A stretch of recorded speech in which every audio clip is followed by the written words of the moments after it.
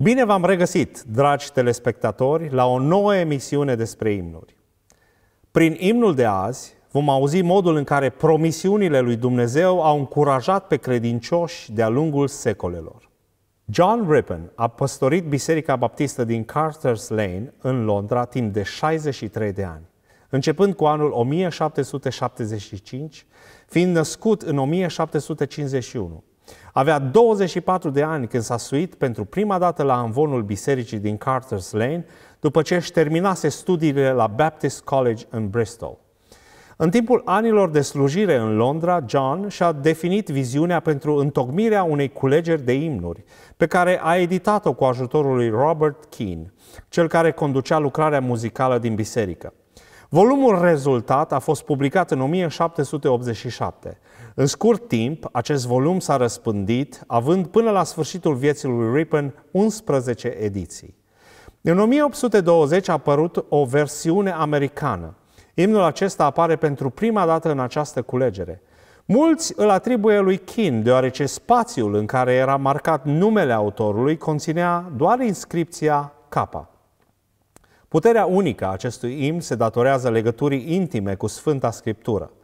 Prima strofă reprezintă fundamentul întregului text, anume, cuvântul lui Dumnezeu este o bază suficientă pentru credința noastră.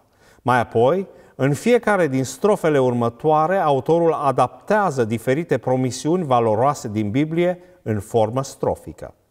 Dintre textele folosite amintim Isaia 41 cu 10. Nu te teme, căci eu sunt cu tine. Nu te uita cu îngrijorare, căci eu sunt Dumnezeul tău. Eu te întăresc, tot eu îți vin în ajutor. Eu te sprijin cu dreapta mea biruitoare. Tot din Isaia, capitolul 43 cu 2.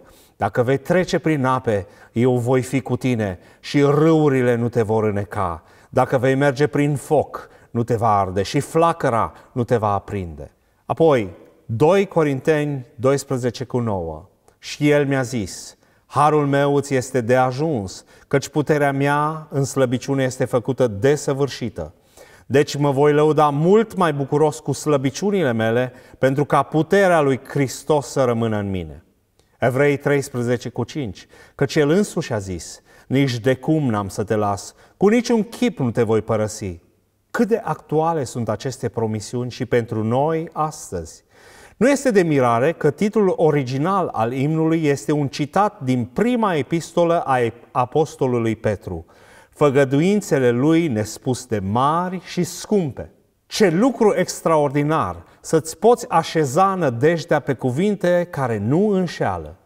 Cântați împreună cu noi aceste mărețe promisiuni.